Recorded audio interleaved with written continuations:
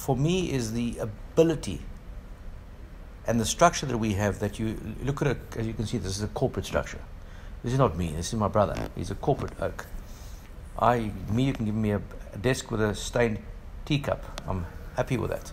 What I enjoy the electronics and what he's created here for us is that our ability to think of where you are today and the corporate structures and the corporate governance and the different criteria of management.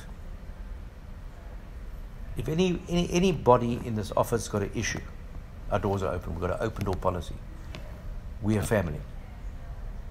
And I think that the success of, of from where we've started to where we are, to be able to keep your feet on the ground from where we come from to where we are to where we're going, that for me is the biggest success.